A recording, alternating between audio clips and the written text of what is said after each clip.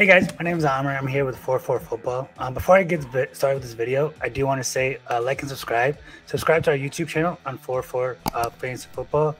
And today's video, we're going to talk about four breakout players.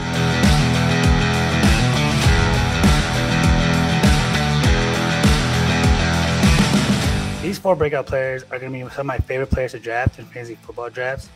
Only because the upside's there. Um, they really haven't broken out that much, and they're still very affordable in fantasy football drafts. To be talking about one quarterback, one running back, one wide receiver, and one tight end. So let's get started.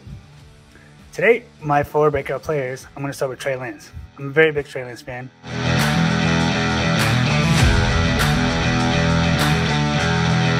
Only because I'm, I'm, very big on in on his rushing abilities and his coach, which is Kyle Shanahan.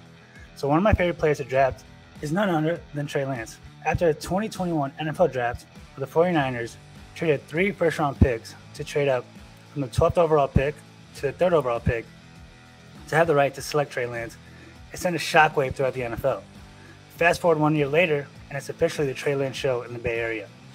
One of my favorite stats last year, from last year is that the rookie, on a small sample size, very small sample size, of course, so we can't take much from it, is on 86 dropbacks per Pro Football Focus. Trey Lance averaged 0.80 on fantasy points per dropback, the highest in the NFL last year. Only Taysom Hill had a higher fantasy points per dropback. Only Lamar Jackson and Taysom Hill have posted a higher fantasy points per dropback um, in the last few years than Trey Lance did last year. Another reason why I'm very in on Trey Lance this year is his head coach Kyle Shanahan. I mean, we know we know Kyle Shanahan's background. Eventually, any quarterback that uh, is coached by Kyle Shanahan, he has a very fancy quarterback-friendly season. Um, and is and of course with Kyle Shanahan, he hasn't ranked overall offensively worse than 16th overall. Since 2015, he's ranked 7th, 2nd, 12th, 16th, 4th, 15th, and 7th overall. I mean, there's a lot of offense there, and I mean, there's going to be a lot of offense, a lot of yards gained. You want the quarterback, which is Trey Lance. Last year, when Trey Lance had 30 or more offensive snaps, he racked up 31 carries total. And if we prorate that, which I know is a very dangerous game, for an entire season, we'd be looking at almost 170 carries. But let's be conservative.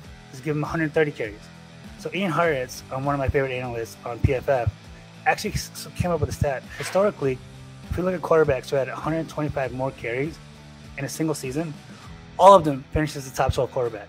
The only exception was Cam Newton in 2017.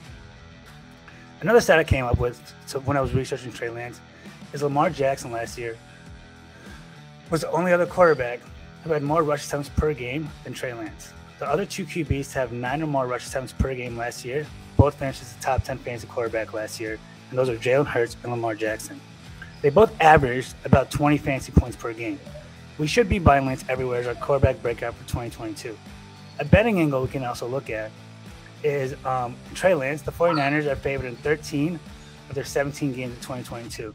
They're going to a lot of favorable game scripts, a lot of uh, easy defenses play against, and they also have the ninth highest total implied points for 2022. That's why I'm very in on Trey Lance, and you should be too. Let's move on to our running back.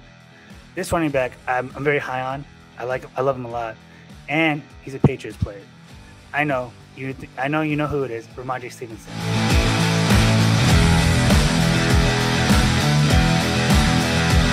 I know, I know. He's a Patriots player. You can't trust him. You can't trust Patriots running backs. It's a committee, yada yada. But we could go on talking about why we shouldn't be talking Patriots running backs. But I want to tell you why you should be talking to Rhamondre Stevenson and why he'll break out in 2022. The drumbeat out of the Patriots camp has been the same all offseason. Stevenson has earned a larger role, especially with James White um, since he injured his hip and he officially retired about a couple weeks ago. If Stevenson can earn that third down role, that'd be huge for the fantasy value. Stevenson ha- has also earned a larger role per Bill, Bill Belichick, who's a football bro, and Bill Belichick doesn't give out compliments. So the fact that he's complimenting him during the offseason is something that we should take we heated something we should notice. Bill Belichick has noticed that Stevenson has worked on his pass pro, and I mean Bill Belichick is a football bro. If you're working on your pass pro and you're not getting the QB injured or the QB getting decked by up defensive players, you're going to stay in the game. And we want Stevenson to stay in the game. So, as I said, he's also getting the James White role, according to a lot of beat reporters. And if you can fully embrace that role while splitting first and second down with Damien Harris, it's takeoff season for Rhamondre Stevenson. In 2021, these are a bunch of advanced stats that Stevenson had, which I found very, very valuable. According to next gen stats, he had the 11th most rushing yards over expectation, the ninth most rushing yards over expectation per attempt. He had the 11th highest rushing grade according to PFF in all of 2021. Another stat that we should look at in Stevenson's favor is among among running backs last year, he had the sixth highest rusher explosive rush rate, minimum 100 plays.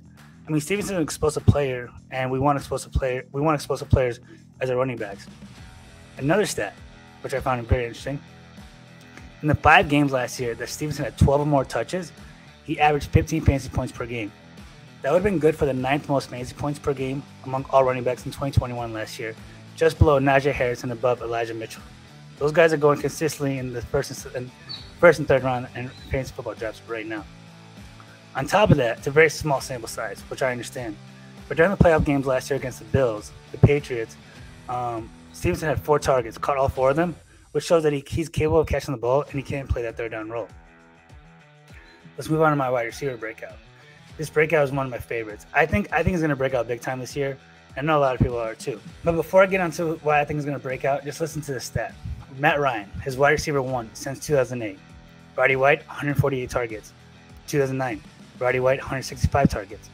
Roddy White in 2010, 179 targets. In 2011, 180 targets for Roddy White. In 2012, 142 targets for Roddy White. In 2013, 132 targets for Harry Douglas.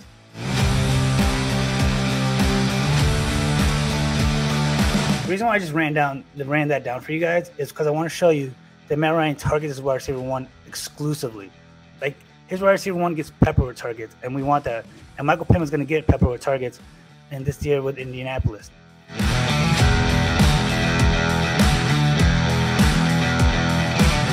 Michael Pittman looks like the next prototypical X wide receiver to play for Matt Ryan. He stands six foot four, large body frame, and he weighs 223 pounds. Pittman has a lot of people excited for his 2020 season, 2022 season, and rightfully so. A year after recording 129 targets, 88 receptions, 1,082 yards, and six touchdowns, he also handled a massive 25.7% target share, and also from weeks 13 to 18 last year, handled a whopping 31% target share. On top of all that, he's got a massive quarterback upgrade going from Carson Wentz to Matt Ryan. Matt Ryan, as I said earlier, has done a tremendous job of peppering his wide receiver one with targets. Those numbers, he averaged almost 155 targets to his wide receiver one since 2008. 155 targets. Last year, Cooper Kupp got almost 180 targets. Just think about that.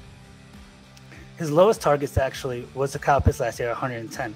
But I mean, we can excuse Atlanta last year because they were a team that was going through a lot, and it was going through a lot that was like eh, eh, not a lot of teams would succeed in the Atlanta situation last year. But his highest target total was Julio Jones in 2015 with a whopping 203 targets. If we got 200 targets from Michael Pittman, the sky's the limit. A friend of 4 for Matt Harmon, actually. He's very much in on Pittman in 2022 uh, as well.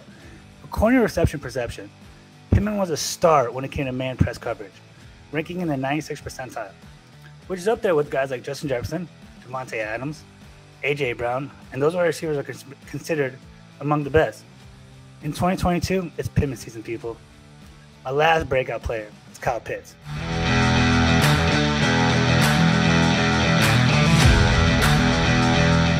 I know, I know. Everyone loves Kyle Pitts. He's going right now as, as a third tight end, but I still think a lot of people are sleeping on him because, like, in his range of outcomes, we're looking at tight end one overall season because Travis Kelce getting up there in age. We can't trust Darren Waller. He's got the hamstring injury right now in camp. He hasn't he hasn't practiced much at all during camp. And then we got George Kittle, um, which I'm very in on George Kittle, Trey Lance, as I had alluded to earlier. So those are the those are really the top three dogs that are fighting with Kyle Pitts. And I think Kyle Pitts has the ability to take over all those players. Since 2017, Players to gain two yards per route run as a rookie in the NFL with 50 or more targets were the following. In 2017, Juju, Kupp, and Godwin. In 2018, no one qualified. In 2019, it was A.J. Brown, Terry McLaurin, and Deebo. In 2020, Justin Jefferson and Chase Claypool. 2021, Ja'Marr Chase, Kadarius Toney, and last but not least, Kyle Pitts. Kyle Pitts is the only tight end in that group. Imagine how good this man is. Last year in 2021 was the third time since 1992 that we saw a tight end command more than 100 targets. The other two were Jeremy Shockey and Evan Engram.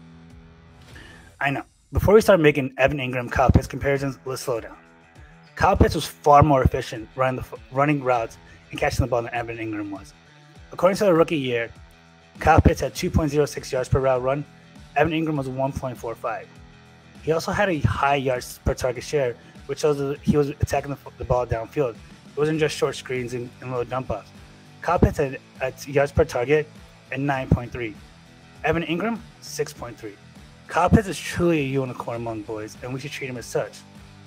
But Kyle's pitch situation has changed just a bit. Another interesting point from Kyle Pitts' 2020 season, 2021 season, is that of all players who had 100 or more targets, only two players had one touchdown or less. One touchdown. Those players were Kyle Pitts and Cole Beasley. Just like try to process that. He had one touchdown on 110 targets.